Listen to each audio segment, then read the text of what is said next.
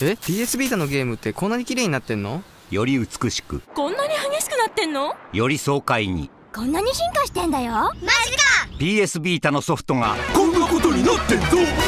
プレイステーションビータ Welcome back to Retro Rebound. In today's video, we are going to Wilmington, North Carolina. Or at least I did. I went to Wilmington. Where I went on a little bit of a vacation. And while I was there, like I do with any vacation, you may remember the video we did when I proposed to my fiance and we were out in Niagara Falls. Still had to take care of business. And by that, I mean checking out a bunch of retro game shops. And so that's what we did in Wilmington, North Carolina. We were on a little vacation and some of the sites there were popping. So we're going to put some retro stores on the map for you to check out. Both these stores I went to were fantastic, especially the pickings and the prices. We're going to go over all of that here today. Ladies and gentlemen, if you're new here and you're into watching a man spend a lot of his money on video games, whether it be getting ripped off at GameStop or doing the occasional retro game store haul, you're in the right place. Consider subscribing. So, first store I went to was in this place called the Cargo District. It is an awesome idea that feels ripped straight out of a JRPG.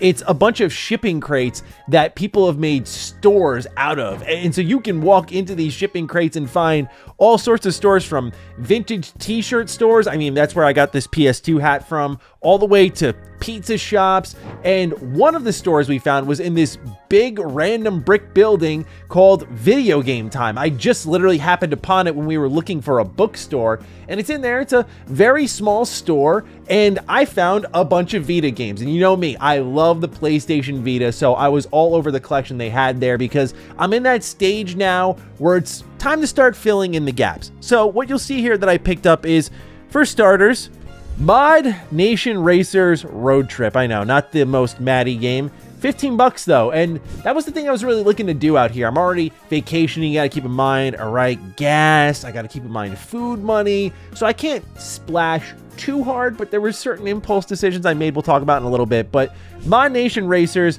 just one of those fun racing games on Vita. Touts on the back that there are thousands upon thousands of tracks available online, or 500,000 in fact, which I thought was really cool, but not like the big poppin' one I was really looking for. But what did excite me is I got to fill out some of the Lego game collection. So what we have here is Lego Marvel Superheroes Universe in Peril and Lego Batman 2 DC Superheroes. Unfortunately, the sticker on this one, I'm going to have to go ahead and spend some time getting rid of that uh, because it's not coming off. But I absolutely love both of these games. I always remember when I learned Lego Batman 2 was open world, I lost my mind, picked it up day one, adored it. And Lego Marvel Superheroes, I know we've gotten a million and one Lego games, but Lego Marvel Superheroes was a big deal when it was first announced because all of the Lego games leading up to that point were like WB properties, DC. And so it seemed like there was no way we could get a Marvel Lego game. And we finally did.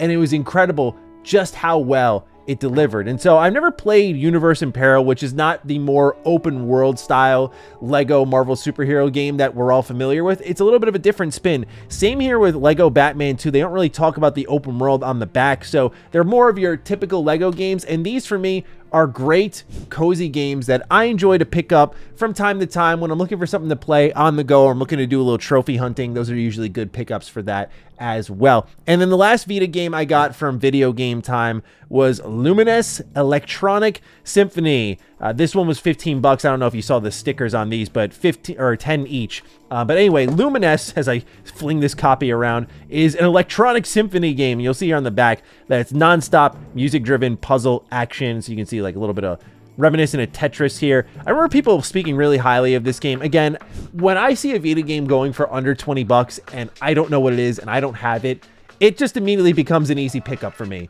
So when I was walking out of this store with, let's see here, 10, 20, and then 35, $50 worth of Vita games, I was pretty happy with that. So no complaints there. So that's what Video Game Time had to offer me. Small selection, really nice dude running the shop. But then after that, I went to Game Giant. And actually, shout out to, I did not get the gentleman's name, but someone did recognize me there, which is kind of cool when I walk into these retro shops and they go, you run YouTube channel? It's always fun to, to meet people who watch the channel and just get to talk to them about video games. So that was really nice. He was a super cool dude. And while I was there, I gotta say, that this store here, Game Giant, had some of the best prices I have ever seen in a retro game shop. I, I, kid you not. Like when I was in there, I was stunned at how competitive the pricing was and how I didn't feel I was getting ripped off. You know, you're talking to a guy who lives in the Northeast, so I've done a lot of my retro game shopping in like Rhode Island and New York City and Connecticut. And so I'm finding that things are, are very pricey here in the Northeast. We want top dollar for everything. But when you go down the coast a little bit more, uh, North Carolina was happy to take my dollar not the absolute maximum value. So shout out to Game Giant for a phenomenal selection. Just cleaning up the Vita collection here. I got Army Corps of Hell. This is a Square Enix game, and I was always really curious about this one. 20 bucks, again, easy pickup for me.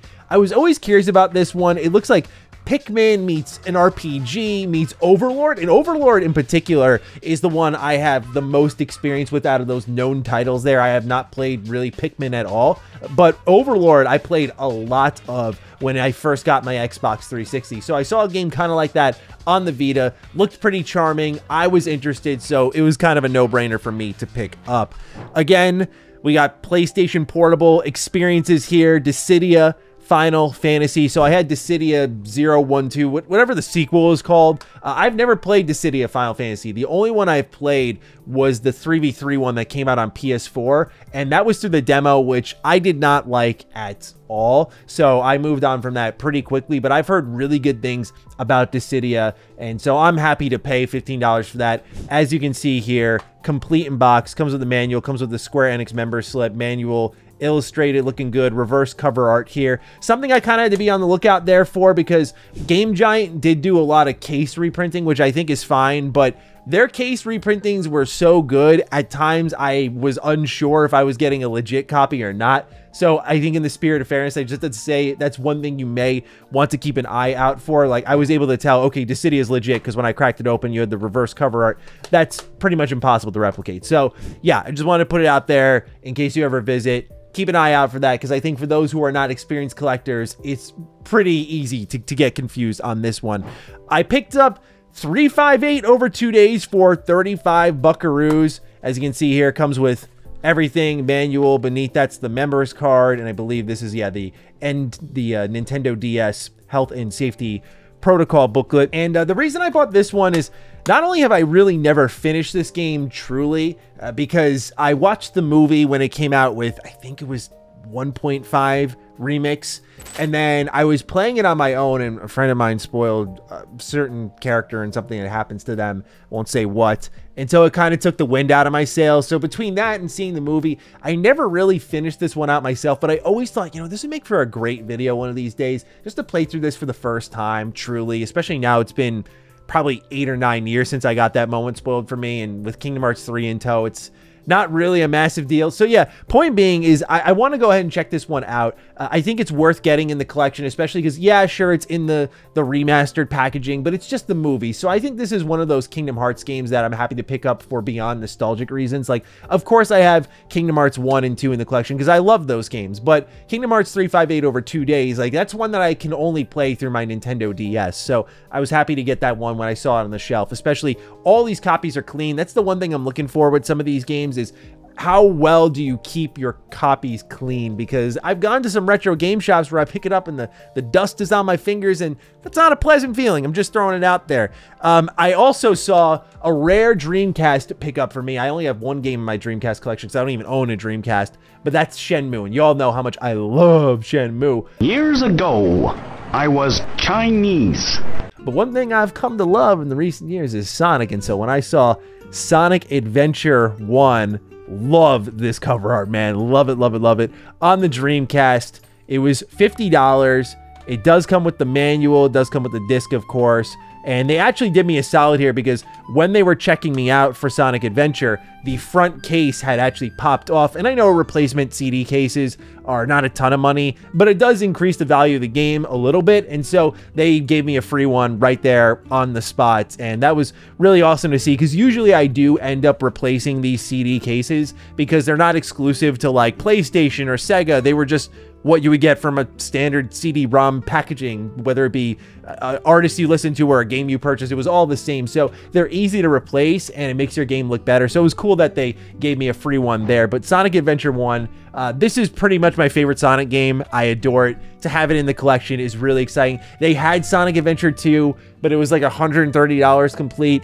I wasn't ready to spend that much bread on a vacation on just one game. I'd rather get a nice big collection there, especially because their pickings here were so good. They had so much I was looking for, and one thing in particular that I'm going to talk about in a moment now that really surprised me. So I didn't want to splash too hard on that. I thought, you know what, Sonic Adventure 2 isn't too difficult to find. Uh, my fiance is still seeking out Sonic Advance 1 complete in box. She wants to find it. She's been looking for it for so long. She doesn't want to go on eBay. She's like, I want to find it now. That's kind of where I was at with Sonic Adventure 1. I was like, yeah, I just want to find this thing. Like, I want to have that enjoyment of discovering it. So, right when I saw it, $50 off the rip, I was like, yeah, no problem whatsoever. Then I found a nice childhood gem here. I found Nightcaster Defeat the Darkness, a kind of magic RPG, Xbox exclusive. I absolutely adore original Xbox exclusives. They were so weird and different and experimental. And it was also there in that moment I had the best feeling I think a game collector can ever have. I learned there's a sequel, Nightcaster 2 Equinox. What? There's a second Nightcaster? Look, I'm not going to sit here and gas up the first one because to tell you the truth, I barely remember the first Nightcaster, but I, I do distinctly recall playing a demo of it, loving it, playing a little bit of the base game. I actually have behind me my original copy, one moment. And as you can see here, yeah, probably a copy worth forgetting here. Um, just the disc. Got it for four bucks used from GameStop. You can see the, the value's gone up a little bit here. Paid 13 bucks, but it is complete in box. It does come with the uh, all the slips that original Xbox games did come with. You can see here even like the, the manuals illustrated. Absolutely beautiful. And then 15 bucks was Nightcaster 2 Equinox. And I'm not sure if this was a different developer. It, it looks like it was Jalico, Jellico. Someone can correct me on that. But this one, unfortunately, not complete in box. So I'll have to hunt down the manual separately. But it was one of those purchases where I saw it and went, there's a sequel. I need this in my collection now because I don't want to forget that this exists. So yeah, I was all over that easy combo pickup for me. Let me go ahead and put my original copy of Nightcaster back on the shelf. Because we just did a video on Star Wars Jedi Knight Jedi Academy, I had to pick up the precursor, if you will. I have a pretty beefy Xbox Star Wars collection. So when I saw this for 15 bucks, pretty easy pickup again, complete in box. I really feel like people need to stop sleeping on Xbox games because I feel like with the direction Xbox is going in, especially 360 games are about to fly up. I just feel it coming. We're, we're seeing things go more and more digital. Back compat's no longer a thing. FPS boost no longer a thing. Like these are just games that are going to be sitting on shelves and rotting eventually, and they're going to go up in value. So I'm trying to collect for Xbox where it makes sense. Again, going back to Nightcast, they're getting two exclusives here for combined less than $30 is a no-brainer in my book. If you care about value and wanting to get things on your shelf, even if you're not going to play them right away, if you care about just getting them for the best value, I feel like right now as I said in a video months ago now, I think, um, yeah, you definitely want to start hunting for Xbox games. But I got Jedi Outcast here because uh, this is one I've actually never completed. Uh, I always get stuck in this game. I get lost in these levels trying to find like the one button you have to press, the one key card I missed on one Imperial officer that dropped it somewhere. So I, I want to one day conquer that beast. And I never really had it in my collection, which is kind of strange. So happy to have it now. And of course, you know, I can't neglect my PlayStation 2. So what we have here is the Legacy of Kain Soul Reaver 2. 25 bucks. Little pricey, but I have the first Legacy of Kain. I know people speak so highly of it, so I naturally had to pick up the sequel, add it to the PS2 collection. I gotta find out what's what's the big deal with Legacy of Kain. People want remasters and remakes. So I want to play through these games at some point, but I think before I do that, I want to play like Devil May Cry. Like there's a lot of action games I have yet to get my hands on, but this one is complete in box. Unfortunately, a black and white manual, but it does come with the slip here in the back. Um, I do again commend this store, Game Giant, for how complete and great looking all these copies were. This is probably the dustiest one I picked up. Like I can feel a little film on it, so I do have to wipe this one down. But Again, 25 bucks for Soul Reaver 2. Pretty easy pickup. And again, this this store had a great selection where there was just so much stuff I saw and went, "Oh right, I've been looking for that." So it just felt like a match made in heaven, if you will. I found a game I did I knew existed, but I didn't know existed on the PS2. I got Ratchet and Clank Size Matters. This is another 25 bucker. Uh, but you see on the back here, it's remastered for the PS2 system. I I remember playing Size Matters on my PSP, but I didn't know they brought it to PS2, so I just thought this was a, a, pretty easy get for me as someone who adores Ratchet and Clank. And truthfully, I say that, yet I haven't played literally every single entry in the series. So yeah, this one, again, complete in box. It is an illustrated manual. You love to see that. Can never go wrong with Ratchet and Clank. Uh, same thing I said with Xbox applies to PlayStation. You know, when you saw the PSN stores for both PS3 and PS Vita start to get taken down, games shot up in value. So I know it's not this game in particular, it's probably hitting its max value already. But when it comes to like the Ratchet and Clank collection, I think of games like that, which are going to continue to go up in value as we progress more and more into a digital era. PlayStation, I think, has a better chance of doing back compat compared to Xbox, so maybe they won't explode as much, but just games that you may want to consider collecting. Last game before I show you some other goodies I picked up while I was out in Wilmington is a game I didn't know existed. I have to get a new case for it. You'll know why as you see here. One Piece Pirates Carnival, 20 bucks. This GameStop sticker, fortunately, I checked when I was in the store. Uh, it is on the outside. Uh, GameStop, if you didn't know, used to put stickers inside the case on the cover art, and it drove me up a wall. I hated that they did that. I have copies on my shelf behind me, uh, ones that I picked up when I was a kid that have the GameStop sticker on the spine inside the plastic casing on the cover art. It's it's heinous, man. It is an arrestable offense, in my personal opinion. Nonetheless, this game spoke to me, as you'll see on the back here. They talk about 30 mini games. It's basically One Piece Mario Party. There's been tons of One Piece games, most of them falling into like the fighting category. We talked about an open world one separately, but I didn't know there was like a Mario Party clone. So yeah, easy pickup for 20 bucks. You know, I love to add a little anime game to my shelf, much to much to Locke's dismay. But I like to add a little anime game to my shelf from time to time. And so, yeah, when I saw One Piece Pirate Carnival, thought this would be a fun one. I love the OG One Piece games. I just think there's a, a real fun spirit to them. Because you think of how popular it is and how long it's been going for. And then you, you think to back when it first started, no one knew it'd be like a thousand plus episodes. So just crazy to see what it's become. And I think games like that can symbolize that sort of innocent beginnings. So I said I wanted to show you a couple other things I picked up.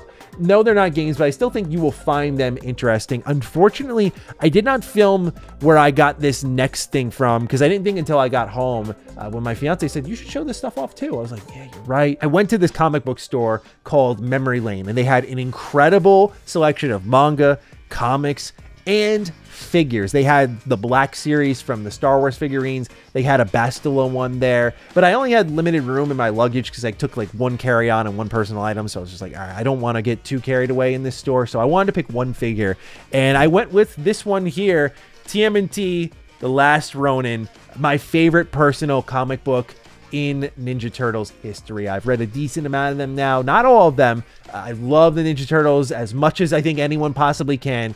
The Last Ronin is gut wrenching, it is incredible. And when that game got announced, I am cautiously very excited for it. I say cautiously because I don't know how I feel about the Destroy All Human remake devs working on it and half the staff getting laid off. Uh, you know, this is a game that we should probably take very seriously, but nonetheless, I, I, hope it turns out well. It's a comic run about if one Ninja Turtle lived and the rest died, and this one Ninja Turtle is using all their weapons, bow staff, nunchucks, sais, katanas, you name it. Like it, it is the master turtle, if you will. And part of the plot is finding out who it is, the trauma that they've dealt with. It's incredible. You'll see here this figure actually has like a little resealable thing that you can open it with on the inside. You'll find the last Ronin himself. Sorry, the camera is so close. It's difficult to show this one off without pushing against the, the backdrop. But you can see here, beating out the reflections, how he looks. Different weapons along the side here. You got the Ninja Turtle faces that you can swap out kind of like a Nendoroid. More weapons alongside here. So yeah, this is uh, one of those pickups I absolutely had to get. It was like 35 bucks. Not too bad. Figure prices have become incredibly competitive in my opinion. I look at what like Banpresto does, where they make some really good looking figures for dirt cheap and I don't know if I'm just not seeing something, but I typically go for their stuff over like the multi hundred dollar figures. But I know some people prefer like posable stuff. Last thing I wanted to show you, I did film this place. It was a card store among card stores. I mean, they had board games, cards. This place went a mile long. They had a whole back room dedicated to D&D. Like this place, if I lived in Wilmington, I would be there every single week. It was awesome to see. What disappointed me is they didn't have any support for the Dragon Ball Super card game. But what did thrill me and was a great makeup for it is for only three bucks a pack, they had Mega Man NT Warrior card game stuff. So I did open one pack because I did want to show it off here on the channel. Uh, because you know how I feel, and for those who don't know, uh, Mega Man NT Warrior was the anime that was connected to Battle Network when it was very popular at the time. And you'll see here some of the cards that you can pull. Like I got a Dex Hollow, you can see some of the other cards I got here. Uh, was this Magic Man? So yeah, it just I thought it was it was awesome to see these all here. And and the reason I bought a couple of them is I wanted to buy one to open for myself, and then I got one of Mega Man, one of Proto Man. And what I want to do is actually, because these are both uh, Grand Prix set, you'll see here, this was a power up set. And then I bought a starter deck is I want to put these in like a shadow box and frame them together. Uh, you know how much I love, I keep saying y'all know, but you really do. You know how I feel about Mega Man and NT Warrior and Battle Network and now Star Force. I've been playing it a little bit since starting back in Christmas. I chipped through the opening couple of dungeons and really love what that game's doing. It's especially more mature and sad. So yeah, I just wanted to show off everything I picked up from games to a figure and some cards and stuff. It was an amazing time out there. If you're looking for a great vacation spot, I will say that Wilmington has a lot to offer. Incredible restaurants, incredible game stores, uh, even though the pickings aren't that big. I will say video game time, the first store I showed off, they are moving to near a gaming arcade called Retroscape. So that'll be a pretty poppin' spot for gamers. But like gamers were well represented in Wilmington. So go ahead and check it out if you have yet to. It was a really cool place. And with that, ladies and gentlemen, I leave it to you. If you've been making any pickups, any recommendations of games I should pick up, any mistakes I made in this video on games I was presenting, of course, you'll let me know. Fire away down below. With that, take excellent care of yourselves. And I'll see you in the next Retro Rebound. Peace out.